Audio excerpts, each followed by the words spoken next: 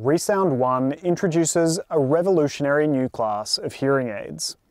The first M&RIE, microphone and receiver in ear, combines the traditional two microphones with a third, discreetly placed inside the ear canal.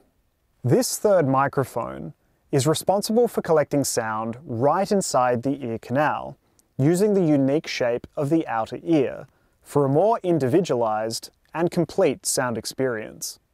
Spectrograms can be used to show how the placement of the microphone inside the ear canal can be used to preserve spatial cues, the natural response of the ear. A spectrogram is a visual way of representing strength or loudness of a signal over time at various frequencies. Today, I will show you how ReSound One provides a similar response to the natural response of the human ear, preserving individual cues for sound localization. We will record three spectrograms, an unaided ear, a traditional hearing aid, and a ReSound One hearing aid. Let's start with the first recording, the response of the unaided ear.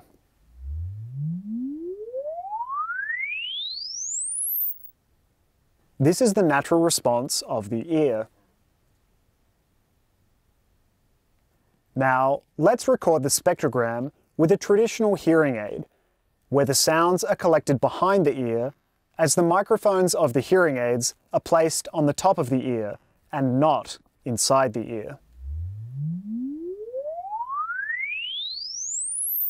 In this case, the spectrogram from a traditional hearing aid differs from an unaided ear.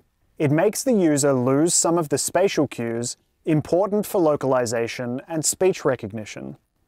Now, let's do the same recording with a ReSound One hearing aid.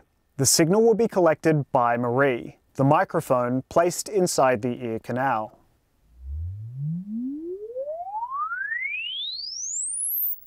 As you can see, the spectrogram has a similar response to the unaided ear, thereby taking advantage of the individual ear anatomy to collect sound as nature intended.